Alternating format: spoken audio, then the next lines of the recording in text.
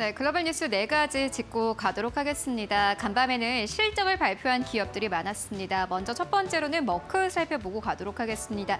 머크가 실적을 발표를 했는데요. 일단 EPS와 매출만 놓고 봤을 때는 괜찮았습니다. EPS와 매출 모두 다 시장의 컨센서스를 소폭 웃돌았습니다. 특히나 머크 같은 경우에는요.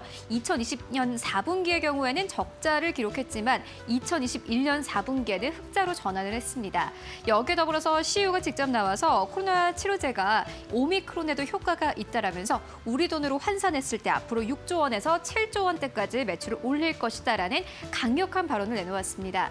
하지만 2022년 연간 가이던스를 하향 조정하면서 주가가 3%가 넘게 빠졌고요.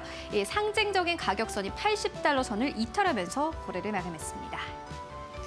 네, 그리고 두 번째 뉴스입니다. 바이오젠도 마찬가지로 실적을 발표를 했습니다. 특히나 바이오젠 같은 경우에는 최근에 삼성 바이오 에피스의 지분을 매각한 바 있습니다.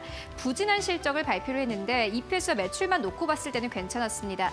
하지만 시장에서 집중을 하고 있는 치매 치료제와 관련된 매출은 이 시장의 컨센서스를 소폭 하회했습니다. 여기에 더불어서 2022년의 연간 가이던스도 시장에서 예상한 것보다 낮춰서 발표를 했습니다. 이 바이오젠의 주가는 지난 1년간 15%가 넘게 빠졌는데 간밤 증시에서도 마찬가지로 2% 가깝게 하락하면서 거래를 마감했습니다. 네, 세 번째 뉴스입니다. 간밤 뉴욕 증시에 좀 이 찬물을 끼얹은 종목이죠. 메타입니다. 이 주가가 26%가 넘게 빠졌는데 많은 IB 측에서는 투자 의견을 하향 조정하고 있습니다. JP 모건 측에서는 메타에 대한 투자 의견을 중립까지 하향 조정했습니다. 마찬가지로 목표 주가도 이 하향 조정했는데요. 385달러 선에서 284달러 선까지 목표 주가를 하향 조정했습니다. 메타버스 전환을 착수하면서 광고 성장세가 크게 둔화했다. 있다라고 평가를 했고요. 여기에 더불어서 마켓워치 측에서는 애플의 개인정보 보호 변경 또한 이 메타에게는 큰 우려점이 되고 있다라는 평가를 내놓기도 했습니다. 간밤 증시에서 주가가 20%가 넘게 빠지면서 거래 마감했습니다.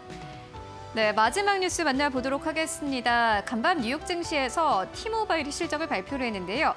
좋은 실적을 발표를 했고 연간 가이던스까지 함께 상향 조정했습니다. EPS와 매출 모두 다 시장의 컨센서스를 상회했습니다. 일단 매출의 경우에는 208억 달러를 기록을 했는데 전년 동기 대비했을 때 5.5% 넘게 증가한 것으로 나타났습니다. 그리고 시장에서 주목을 했던 것은 바로 이 가입자 성장이었는데요. 가입자 성장은 버라이즌보다도 훨씬 앞선 것으로 확인이 됐습니다. 이 많은 아이비 측에서는 2022년 업계 가입자의 성장이 정상화될 것이다라는 평가를 내놓았고요. 간밤 뉴욕 증시 3대 지수가 모두 하락한 가운데서도 티모바일의 주가는 무려 10% 넘게 뛰면서 거래를 마감했습니다. 네, 지금까지 네 가지 뉴스 살펴보고 왔습니다.